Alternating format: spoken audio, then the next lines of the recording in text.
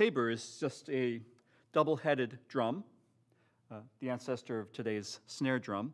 And in fact, there's a piece of gut that's stretched across one of the heads there. You can see it. So when you strike the surface with a stick, it makes the gut buzz against the head and creates this nice, nasty sound.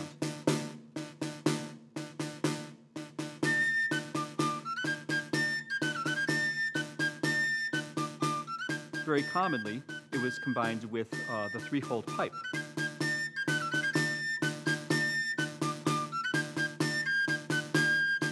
Two holes in the front and a thumb hole in the back. And in fact, uh, this instrument is a copy of the instrument that was brought up from the Mary Rose ship, just like the douçaines that uh, Joan talked about. In the Pyrenees, in the area between France and Spain, and around Barcelona, in the Catalan region, they still use the pipe and tabor.